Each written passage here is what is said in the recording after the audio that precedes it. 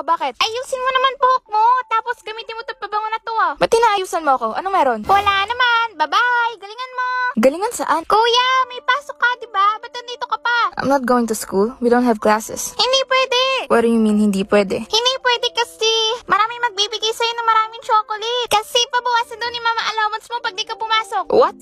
That's not fair. Yun nga din sabi ko, pero ay pumayag. Sige na, pasok ka na. Baka makita ka pa ni mama. Lagot ka. Tatago.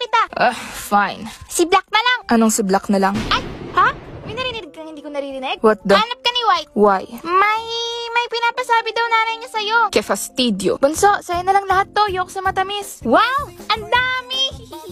You tricked me. I don't want this. I know, right? Hihi, dami foods, dami dami foods. Mama, Claire is eating a lot of chocolates. Masakit na tiyan niya. Ayaw pa tumigil. Clara, amin na yan. Bawal ka nang kumain yan. Sumusobra kang bata ka. Pero wala pa akong nakakain.